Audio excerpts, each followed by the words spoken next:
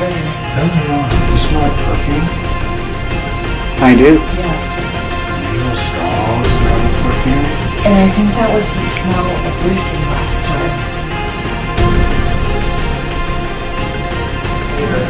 Uh, The Palmer House was um, built in 1901 after uh, a fire had destroyed uh, the previous business, which was the Sauk Centre House. Do you see any cobwebs over here? No, it was something, I hit something with my hair, my head over there earlier, behind us. Can you come with your light over here? Yeah, you bet. Can I turn the light on?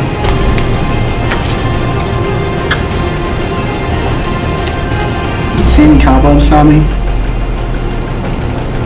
Nope, don't see anything on you. Here's some cobwebs right here, see? Yeah, but there's nothing right here though.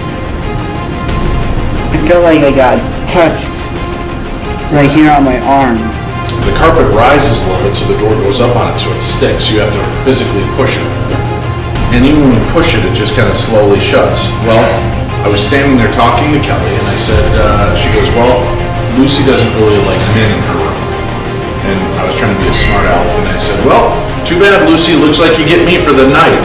And the door swung and slammed shut. Hey, Patrick, Yeah. I just experienced that too right now. It feels like on the, on the back of my head. Is there something there? Oh, like, what, like a touch? Yeah, right here. As we're walking straight, I shouldn't have had felt on the back of my head. You know what I mean? So if I was gonna hit a cobweb, I would really walk through it experience on the backside of my head.